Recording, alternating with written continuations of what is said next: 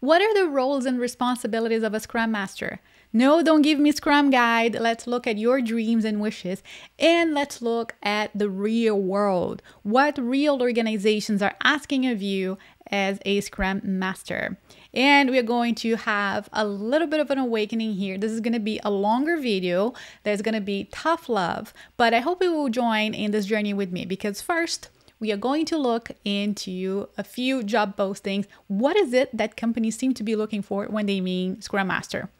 Two, we are going to look into the patterns. Are they all different or can we see some similarities in job postings? And that is a good thing, right? And three, we are going to talk on a very frank conversation about a few lessons that I really hope for you to leave this video with. So without further ado, let's get started. This video will be long, but I hope you stay to the end when we talk about the lessons learned. So let's look into the positions and I found them basically in Indeed and in Glassdoor. I didn't go very far, but you can also check LinkedIn and even some specific company websites. So here's what we found. The first one is very interesting. It pays relatively well. It's uh, near Mont- it's in Montreal, near where I work. And the experience they are looking for is about collaborating with stakeholders, understanding business problem statements. They are talking about product vision and managing backlog of multiple products simultaneously. Uh, the whole interesting area of this uh, job posting for me it feels like you're expected to be more of a, a project manager and you don't seem to be required to work developing teams at all. Nothing is mentioned in here. So it looks like your responsibility is on the stakeholder and work management front. So for me, in this case, it means that you need a lot of product backlog and techniques in here, validating those requests, you know, prioritizing and breaking down work, etc. This is not usually the full scope uh, that you would expect for a Scrum Master job. But what is interesting in such an opportunity is that you can grow a very particular set of skills, the one on the side of backlog and product management.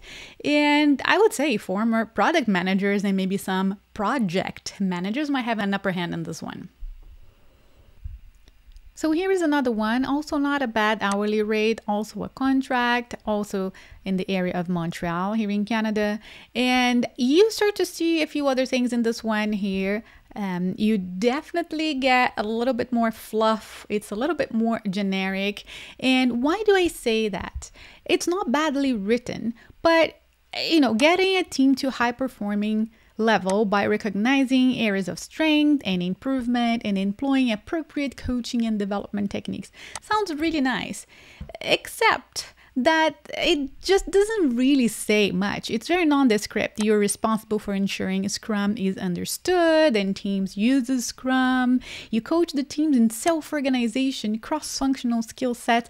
Those feel like the very generic word that you say in Agile. And they, they are actually important words. But can you really understand what are the responsibilities on the day to day in this one? So, I would say there's opportunity in here to make sure that I'm a good fit as a Scrum Master. I would, for example, ask what they mean by cross functionality. I would also ask what they mean by effectiveness of application of the Scrum in the organization. You know, so am I dealing with one team, many teams? Who is the whole organization? Are they all adopting Scrum? You want to understand what are you committing to.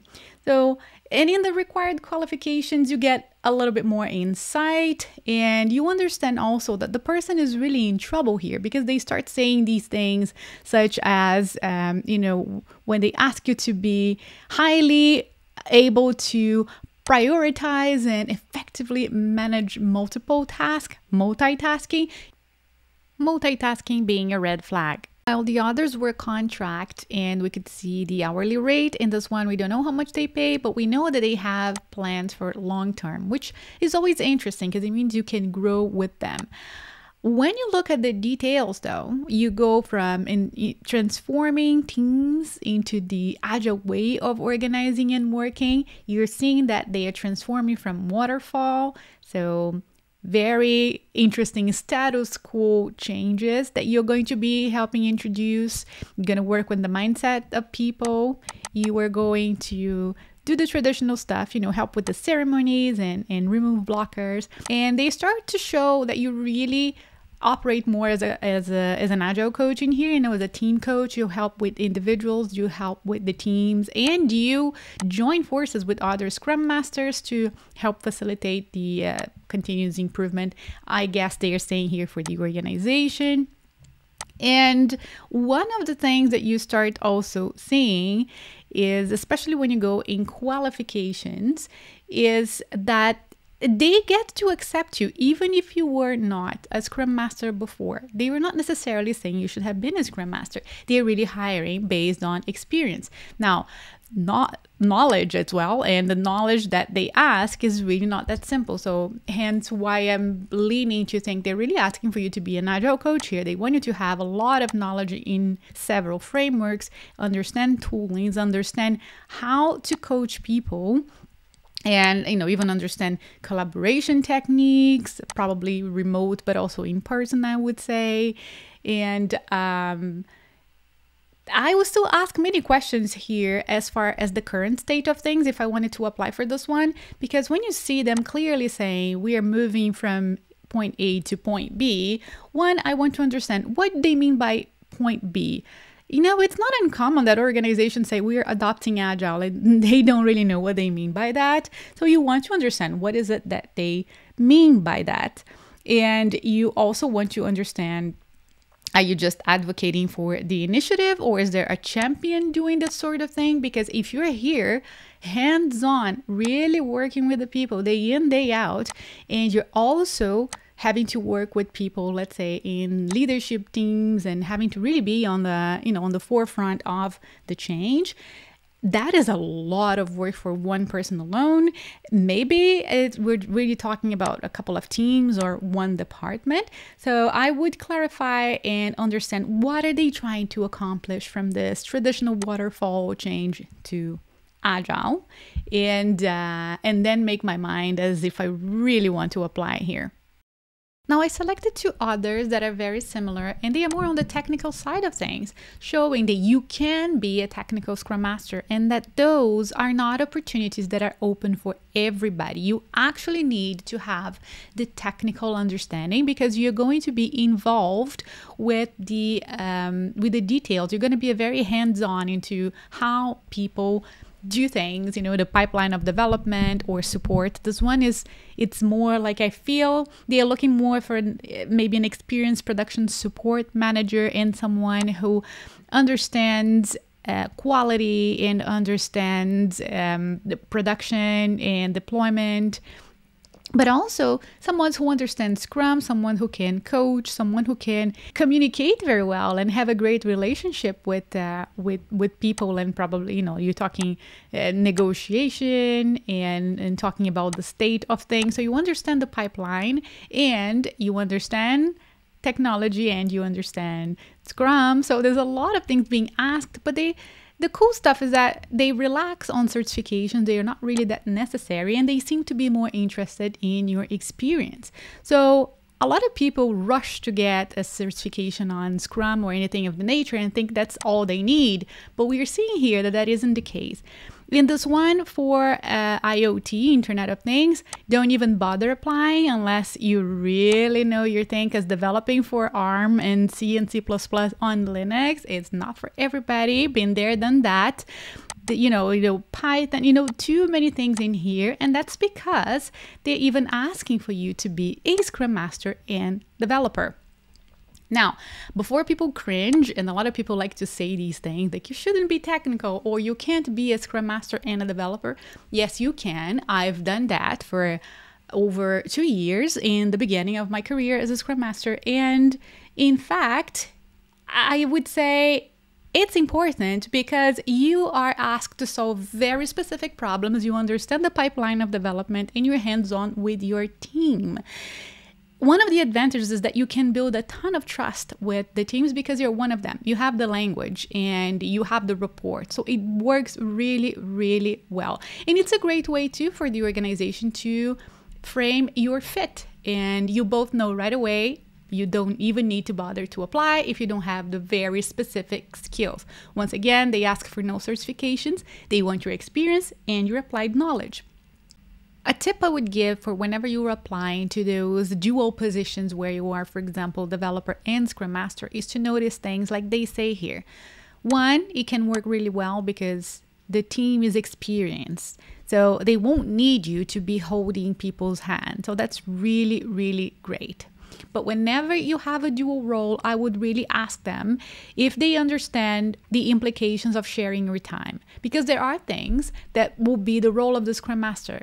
Whenever you find some very complicated issue or stakeholder waiting down the line, the other developers need to continue producing work. And then you are in the front line trying to solve these things. So you have only one Scrum Master, but you have several developers. How do they see it? I would be interested in asking that. Now I select these last two that I call heavy hitters, agile coaches, because that's really what they are. Um, they are for very experienced coaches, consultants, or project managers. If you really read them, you will notice how much emphasis they put into interpersonal skills. Nobody here is talking about velocity and story points. They really talk about the ability of being a great facilitator, negotiator, coach and guide people, make people talk, create alignment. This is not your average, I'm just beginning with agile type of thing. And they even say that, right? Despite the Scrum name that you might find here, basically, you know, Agile Scrum ceremonies and etc., they really are asking you to have extensive lean Agile knowledge when they say, for example, uh, effective planning. Uh, there was one here, what is it that I really liked? You know, liaison between people. I think it was here that I saw you know like you have continuous flow you know they are expecting something really more interesting from you than just um, you know your average i read the scrum guide type of thing. And they consider understanding scaled agile as an asset. I would ask them why is this an asset? Are they scaling? And i will not accept those uh, you know generic answers well we are going agile at scale or things like that. I would really try and understand what problem is it that you're trying to solve with scaled agile approaches and not accept those nondescript answers. And i think in a position like that with a job posting like that they really will be giving you way better answers. Um, you know they they are definitely will be telling you is this because we want to improve the quality of our deliveries or we want to have better time to market or things of the nature uh, we have a nasty case of interdependency and we want to tackle that so i bet the conversation to get into this job here would be super interesting I hope you found interesting looking into those descriptions. They were all very different, although you could argue that there were a few patterns. So, for example, adapting agile, being able to create something using best practices and adapting existing methodologies, but targeting the reality of the organization, the ability to partner with leaders and proactively manage and identify and solve issues in coaching teams and people. And it's not the same skill to coach a group, to coach one person we saw a lot of asks about backlog management and delivery production performance uh, you know liaison inter teams and with senior stakeholders with product managers also from other departments and we didn't even get started with the tooling. Many of them mentioned tooling, Jira, of course, but many of them now are starting to ask you Azure DevOps boards, which is awesome. Absolutely adore it. Um, but they will be naming Scrum and SAFe as a framework, but they will let you notice in the details that they are asking for more than that. In the end, they are asking you for Agile in general and in practice. And for the most part, they really ask you to be very hands on, sometimes even super technical as to know the technology being applied. But in any case, they want you to manage the impediments, the problems, to track the progress, to be able to support people in the application of the practices. We are now in the final part of our video, but before we get into that, I wonder, were you surprised with some of the uh, job postings that I select to read in here? Actually, I didn't even select them. I just searched and got the first few in Indeed and then the next few in Glassdoor. And that's what we had. And they all turned out being also very different. So I wonder, let me know in the comments if you were surprised.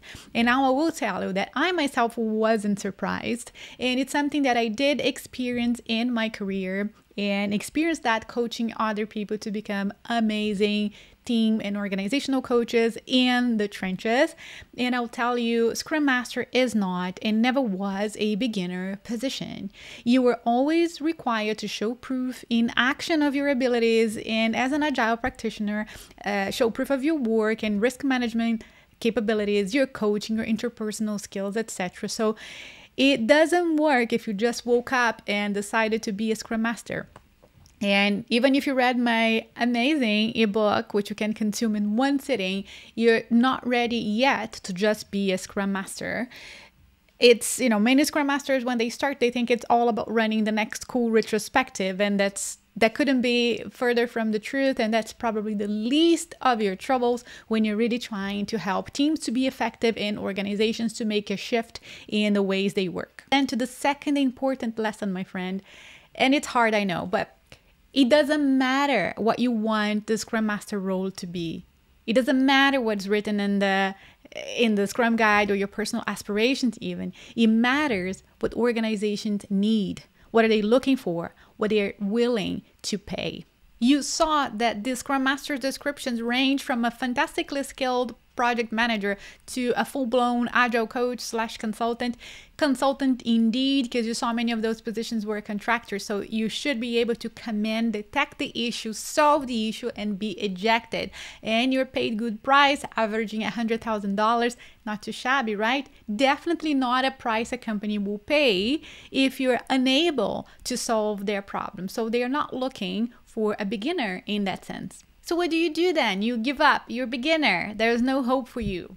Absolutely not. Number one, study, gain the knowledge. These are competency based professions or roles if you want to call them. Get into courses. Join community of practices. Now i do have paid courses but i also offer a lot of free masterclasses webinars and q&a so linked in the description down below for you to join for free Second, application, both for learning and for applying. You don't need the title to use these skills. Start where you are right now, both as an agile practitioner and as a coach. Help your own team, help a colleague, help a different team in another department, but go after people who are interested in learning with you and from you. Wherever you do, you start by affinity along your career, you're going to have enough time to deal with resistance. So, in this beginning stage, as you really want to collect wins and understand how things work, first work with the people who are just as interested or even more as you are. And then finally, network. A lot of great positions are filled internally or by reference. So, you want to be in the loop and connect with people. And a bonus one, one more. Remember that I said stick to the end and thank you for sticking to the end, my friend. You're golden. Because even though it feels a little bit like tough love, and I will acknowledge it is, you are dealing with a lot of competition. There is a lot of hiring in agile coaching, scrum mastering, and all these um, agility enabling professions. Yet, there is a lot of people competing and there's people with a lot more experience there's people with not much experience. So you want to make sure that you can be in this race for the right reasons. So consider what is it that really makes you want to embark on this journey? Why do you want to be a scrum master? Is it the status? Is it money? You can get these things in other places. You know you won't get that just because you became a scrum master so just get that really straight in your heart and your mind and connect deeply with the motivation. So, one that's going to help you go far is this one. You have a deep desire to make a difference in the lives of people and in how organizations work. You make a positive impact. You want to disrupt things a little bit and make people a little bit uncomfortable, yet reach their next best level because that's what organizations want. That's what they need to get there and help people do so. There is a lot of study ahead of you, a lot of applied knowledge, and it's a never ending thing.